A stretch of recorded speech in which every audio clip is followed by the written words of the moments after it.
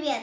С вами рубрика «Не скучай» И я, Настя Гневеда. Сидите дома, скучаете, у вас плохое настроение.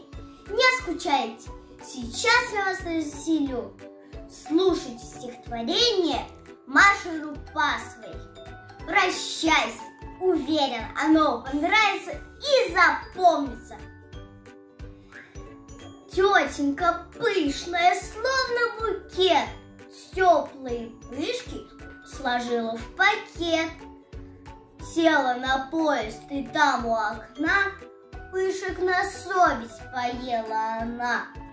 Пышку за маму и пышку за папу, Пышку за каждую кошкину лапу, Пышку за мышку на чердаке, Пышку за книжку в левой руке. Зелень снаружи сияла, текла, День состоял из еды и тепла. Выйдя на станцию маленькой Ивовой, Тетенька вдруг оказалась счастливой.